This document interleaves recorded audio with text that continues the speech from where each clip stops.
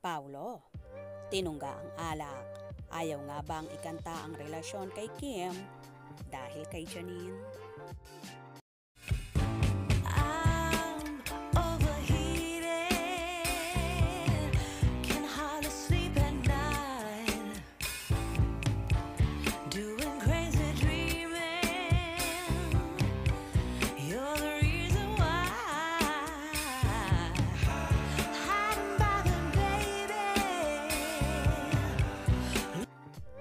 Nag-guest nga ang multi-awarded actor at bida sa elevator movie na si Paulo Avellino sa YouTube channel ni Luis Manzano, ang Luis Listen.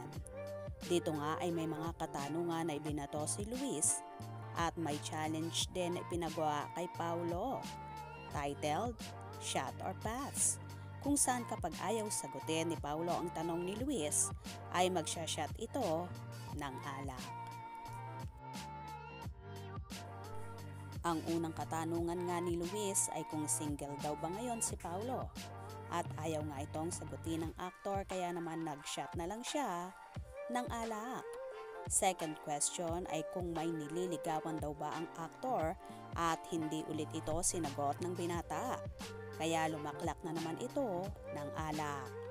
At ang ikatlong katanungan ni Luis eh kung may mga artista pa raw ba na gustong makatrabaho si Paulo at dito nga ay sinagot niya na marami pa. Kagaya na lang daw ni Nora Honor, Vilma Santos, Sharon Cuneta at marami pang iba.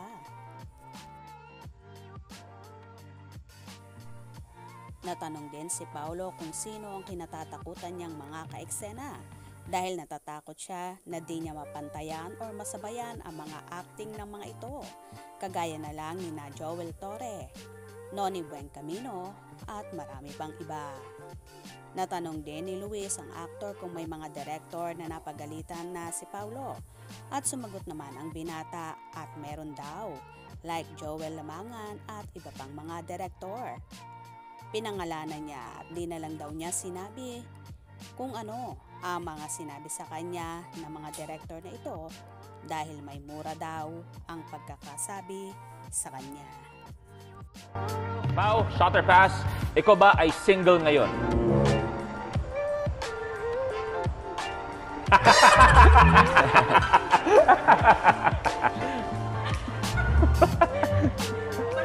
Eto pangalawa, para may konting clarification lang sa unang mas sinagot, may nililigawan ka ba ngayon? Ano to eh, sundot to doon sa unang katanungan. Alam mo, pamilya lang tayo na sisig. Tila ayaw pa ngang i-broadcast ni Paulo ang namamagitan sa kanila ng kapamilya actress na si Kim Chu at gustong maging pribado ang lahat. Unang-una, ayaw na ayaw niyang pagchismisan ang kanyang buhay pag-ibig. Pangalawa, katatapos lang din ang breakup nila ng jowang si Janine Gutierrez na hindi naman inamin sa publiko kung talaga nga bang nagkaroon sila ng relasyon na paniguradong itataas ng kilay ng ilang Paunin fans. Next, ang lumalabas na dahilan ng hiwalayan ng Paunin ay may naging kondisyones daw si Paulo kay Janine na gusto munang makatapos ng kolehiyo ang anak nito kay LJ Reyes na si Aki na more or less ay 6 years pa raw ito mangyayari.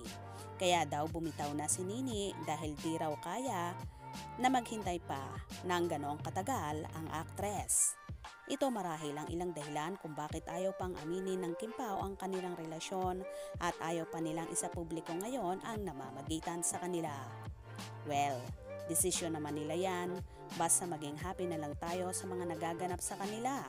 Naddi pa man, umaamin sa madlang people pero panatag naman ang lahat. Lalong higit ang kanilang mga supporters na magjowa na at may namamagitan na nga sa Chupao. At soon, aamin din sila sa tamang panahon. Kaya naman tumutok at huwag na huwag pahuhuli sa mga maiinit na kaganapan. Anong inyong magiging reaction sa video ito? Comment below.